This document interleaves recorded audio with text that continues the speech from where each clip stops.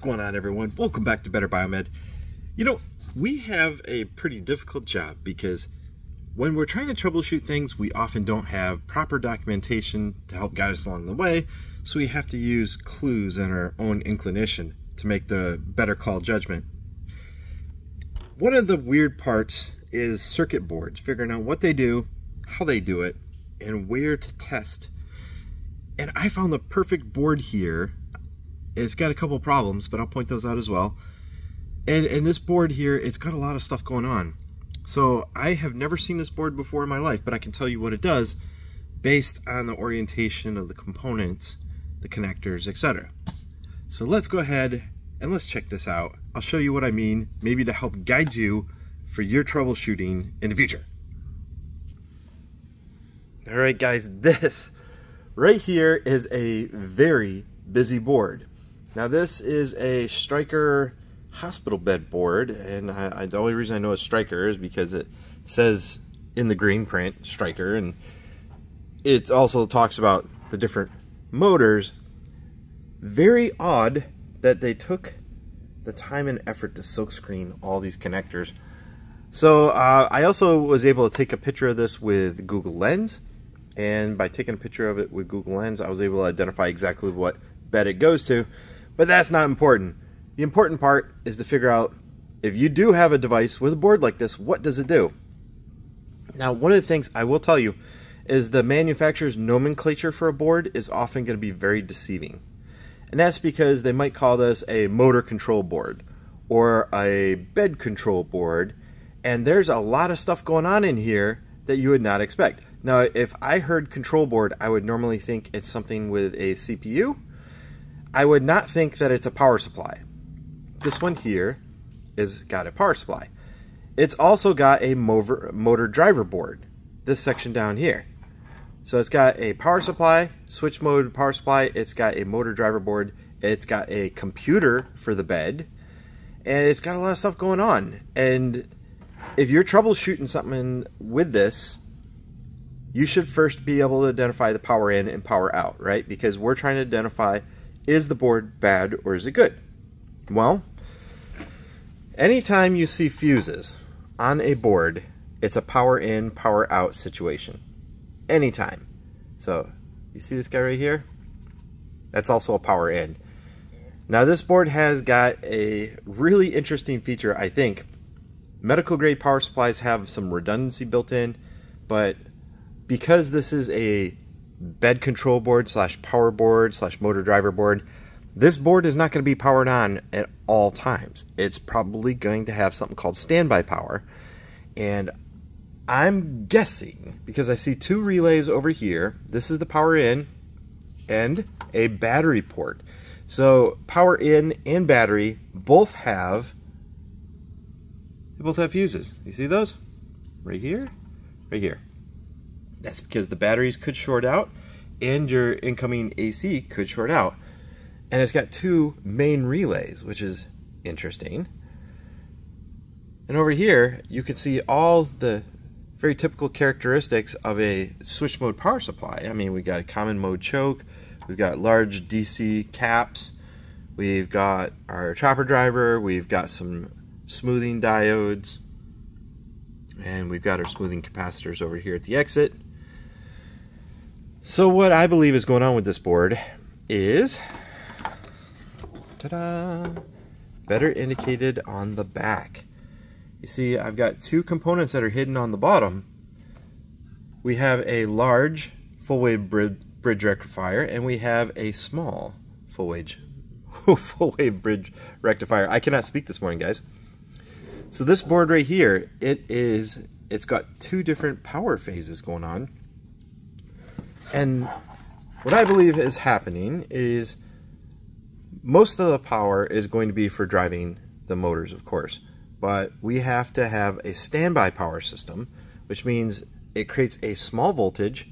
It goes out to several controls. It's going to be the bed rails, etc. So when you turn the bed on, it's going to turn on the rest of the power supply. And also when you are going to activate motors, it's going to, see all these relays? Check those out. Interestingly enough, it's got double relays. Now, why would you have double relays? Well, if you want to invert DC, it's going to take two different relays in order to crisscross and reverse polarity the leads for a motor to make the motor run in reverse. And I believe that's why we have doubled up relays. It also helps it double the amount of current that it can handle. But I believe that it's mainly for reversing. So if you have a motor that goes in one direction but not in the other, you see two relays near a motor power port. That would usually indicate that one relay is for one direction, one relay is for the opposite direction. Um, you would check on the bottom to ensure that your hypothesis is correct. So anytime you see large DC caps, fuses, and then smaller DC caps, especially in a particular area, that is going to be your switch mode power supply. And it's going to generate DC mainly for the computer. Uh, these motors here could be switching AC. It's hard to say. It's best to read the label on the motor to figure out what you're supposed to be measuring. There are some current measurements because this is a medical grade power supply. We have some measurements for current, so it would know if one of your motors is pulling too much. Now, uh, notice how we got large connectors,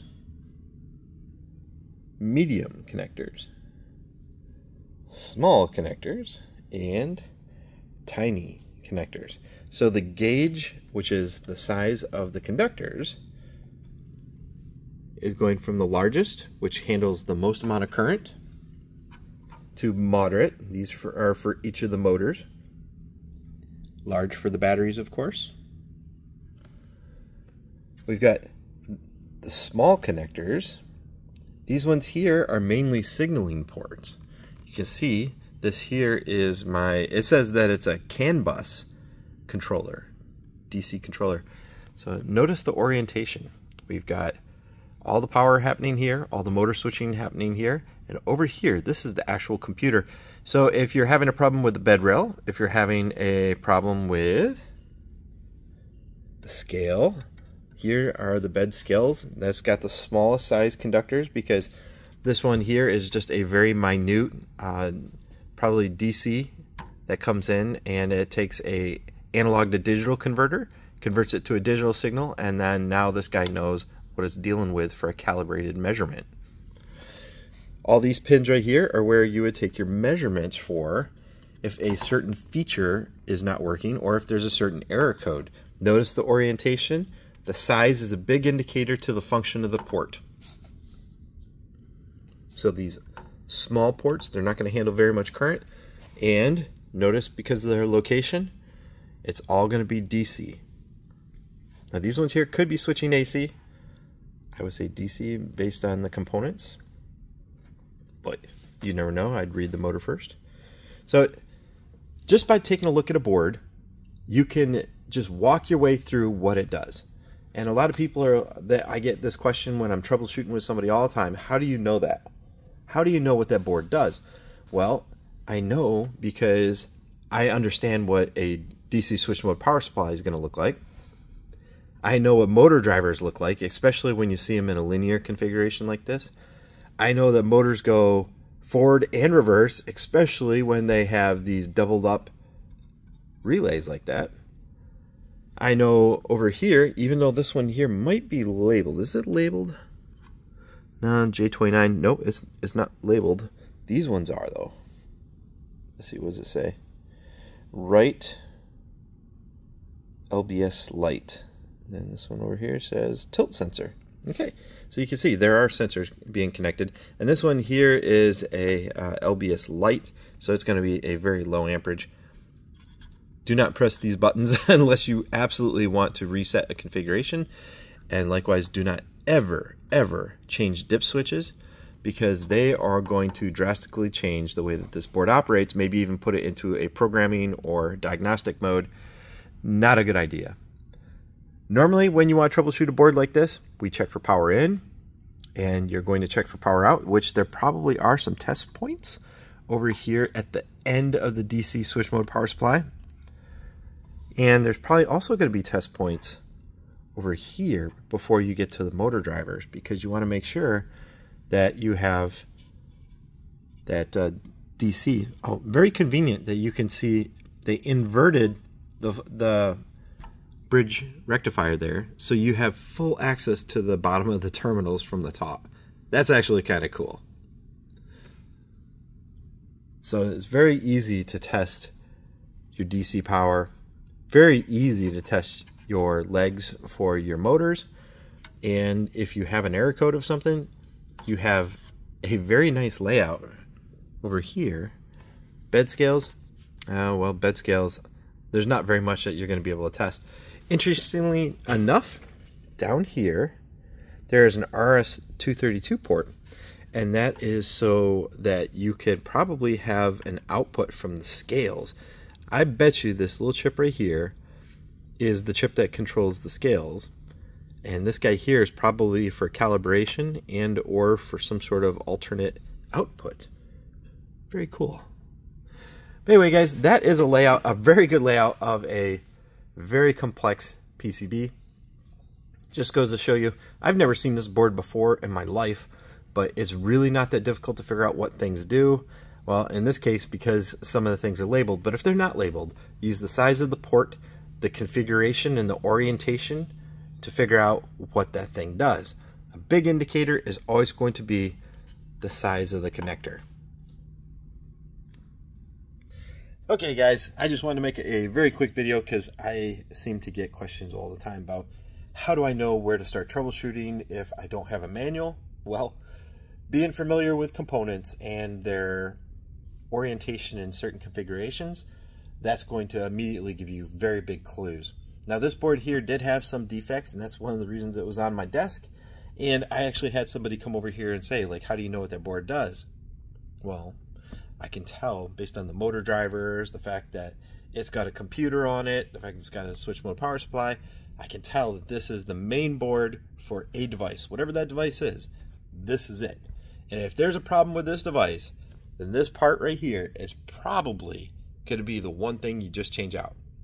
There's not going to be too many repairs on this board, although obviously there's a pretty easy layout to change anything out. This is not a complex board whatsoever, but it's going to be one of those things where if something goes wrong for whatever reason, you're just going to change out the whole board anyway. However, be familiar with your components and their layout and get ahead in your troubleshooting. Thanks for watching, guys.